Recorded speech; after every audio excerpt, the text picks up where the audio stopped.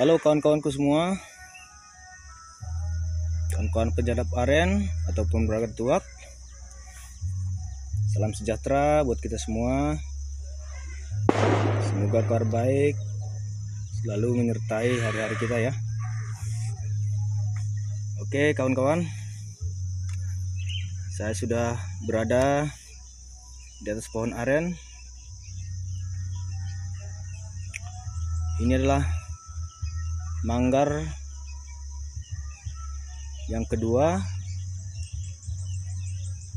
dan sudah 8 kali pemukulan atau proses pengerjaan. Ini manggar yang sangat jumbo ya. Jadi hari ini saya tidak melakukan pemukulan teman-teman. Karena seharian penuh hujan ya jadi manggarnya terlihat basah. Dan kalau dipukul akan mengakibatkan manggar aren ini akan membusuk ya. Oke sebelum kita lihat keadaannya teman-teman. Silahkan kawan-kawan ya mohon dukungannya untuk berikan subscribe atau tekan tombol merah di bawah video ini agar channel ini bisa berkembang ya kawan ya. Oke terima kasih kawanku. Kita lanjut ke videonya ya. Oke kawan-kawan. Inilah kondisi manggar aren yang sudah 8 kali pemukulan. Tapi berhubung ini hujan dan kondisi manggar arennya basah. Hmm, sangat basah ya jadi tidak boleh kita lakukan pemukulan ya. Karena ini bisa berakibat manggar ini akan rusak. Jadi hari ini saya cuma melakukan pengayunan sebanyak 100 kali ya kawan-kawan. 100 kali pengayunan.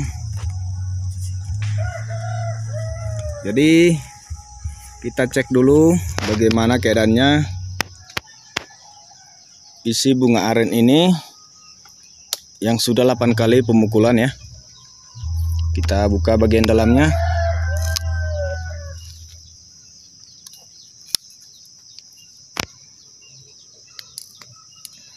Oke. Kira-kira seperti ini kawan-kawan.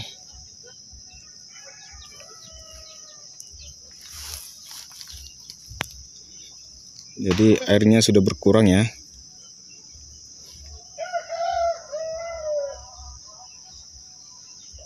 sudah tidak banyak lagi kadar airnya.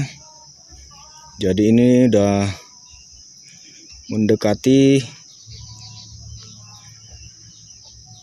matang ya. Oke seperti ini teman-teman. Sudah sangat lengket dan tidak banyak lagi mengandung air. Oke kalau kita lihat bagian ininya sudah. Banyak dihinggapi. Binatang-binatang kecil ya.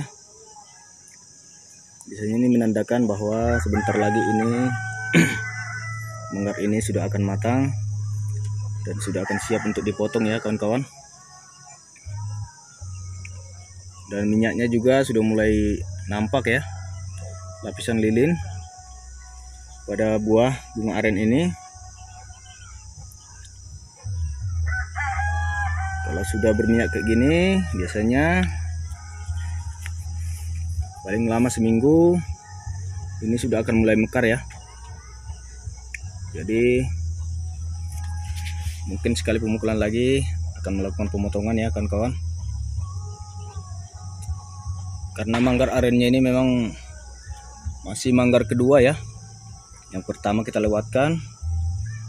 Ini manggar kedua ini masih besar dan biasanya memang manggar pertama sampai kedua itu masa pengerjaannya agak lama ya kawan-kawan ya. Butuh waktu dua bulan atau lebih. Kadang sampai 10 kali pemukulan dengan interval tiga kali eh tiga hari sekali ya.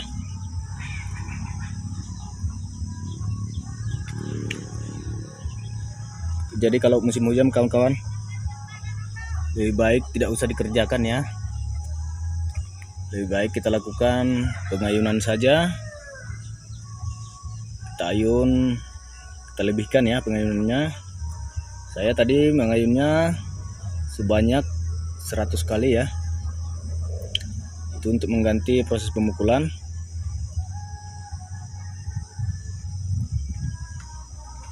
Oke cukup sekian kawan-kawan. Inilah keadaan manggar arennya Setelah 8 kali pemukulan. Oke nanti pada pemukulan ke-9 Kita akan cek. Dan mungkin akan Sudah Mekar bunganya ya. Kita akan cek apakah sudah ada airnya atau belum ya. Oke selamat sore kawan-kawan. Dan Selamat beraktivitas kembali ya. Salam dari sahabat petani.